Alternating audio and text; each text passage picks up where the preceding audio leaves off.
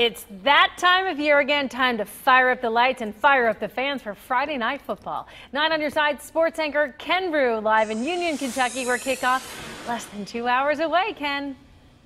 Yeah, fire up the AC. It is really toasty out here at Cooper High School, but I'll tell you what, Ohio's got to wait a week, but all over Indiana and Kentucky. And right here at Cooper High School, the 2014 high school football season begins tonight.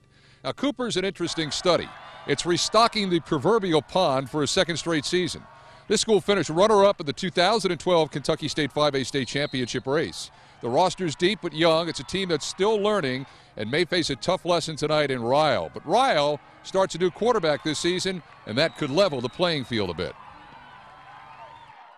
People do hype up this game a lot just because it is it's the only two schools in the same district, which is Union, and uh, there's a saying you got to battle for Union, obviously, so we got to fight for it. You know, a lot of these kids that, that are here on the Cooper roster and a lot of the kids on the Ryle roster are good friends outside of football.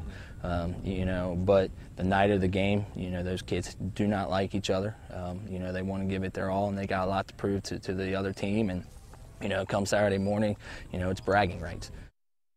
That, that's called a rivalry, and that's what this is developing into, although Ryle has dominated this series. Now, all of the scores and a boatload of highlights are coming up tonight at 11 o'clock on 9 on your side, so please tune in for that as we begin yet another high school football season. Outside of Cooper High School, where tonight the Jaguars open the season against Ryle. I'm Ken Broo, 9 on your side. I will be here with you tonight at 11, Ken. I'm looking forward to all of the highlights. Good. Thanks so much.